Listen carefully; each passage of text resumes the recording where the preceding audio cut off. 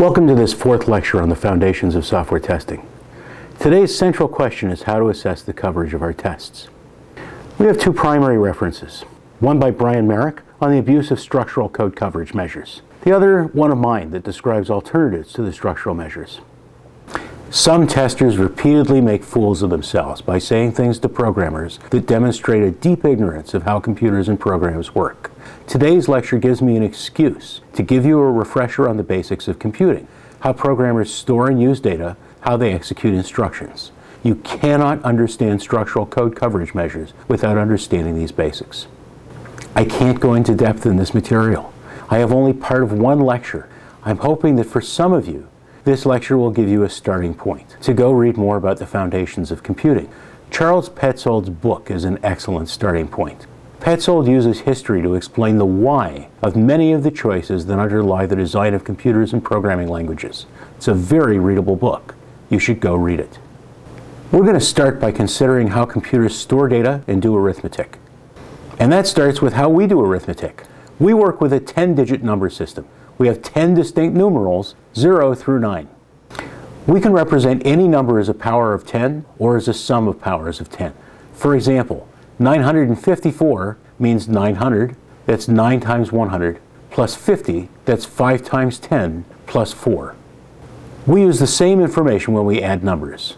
So when we add the 6 and the 2 in 654 plus 243, we know we're adding 600 plus 200.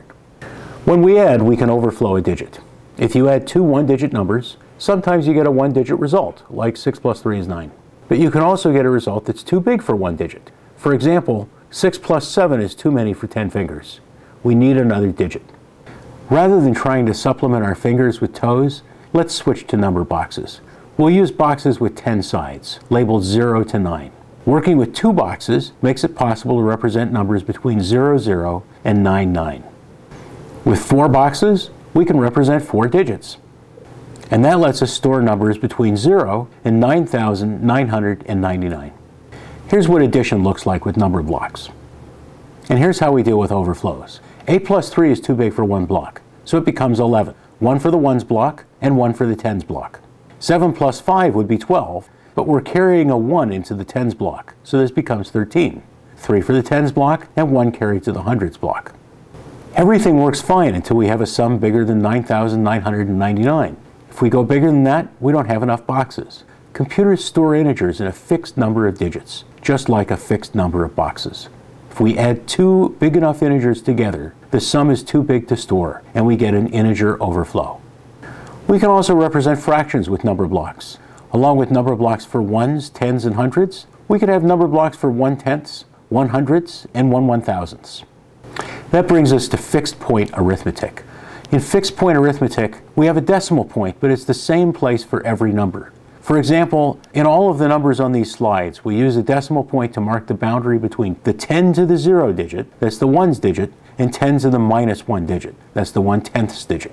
Fixed point arithmetic is a lot like integer arithmetic. With integers, there's a fixed maximum number of digits. They're all whole numbers, no fractions. For example, in 9999, there are four significant digits.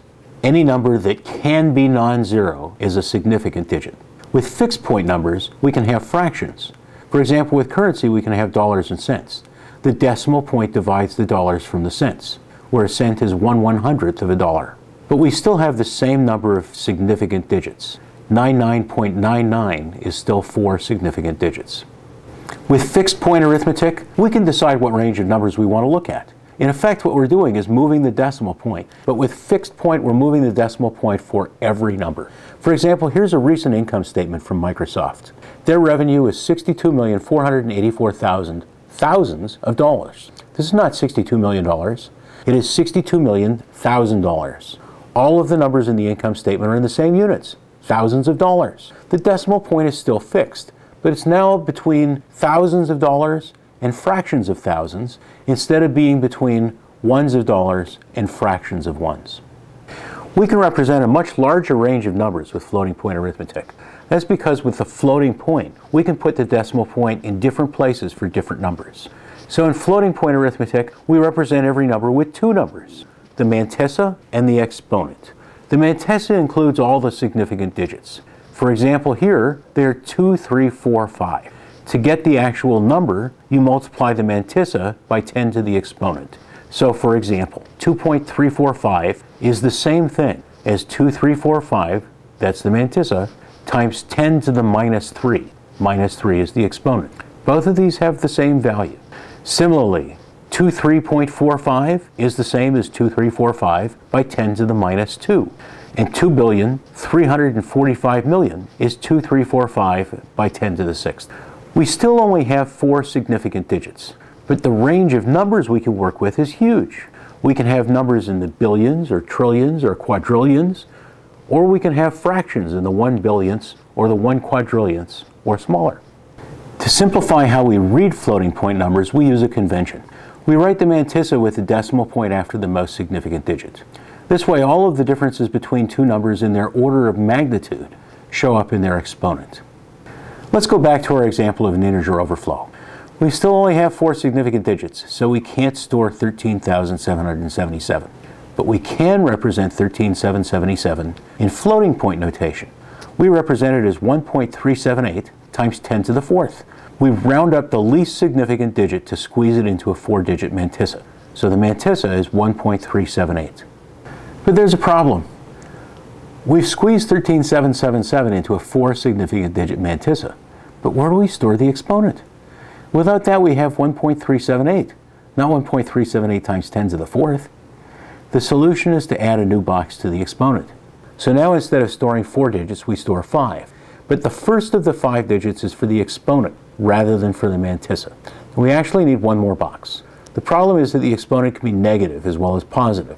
Sometimes we multiply a mantissa by 10 to the fourth, but sometimes it's by 10 to the minus fourth. So for the last box, we store the exponent's sign. There's a constraint that you should pay attention to. Even though our numbers can span a huge range, they still only have four significant digits.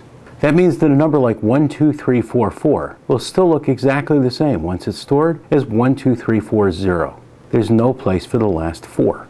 There is no fifth significant digit. I often pose a puzzle to my students.